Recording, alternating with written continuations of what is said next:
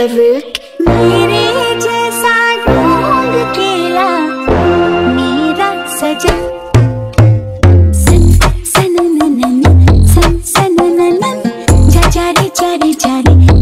पवन। ऐसा कहीं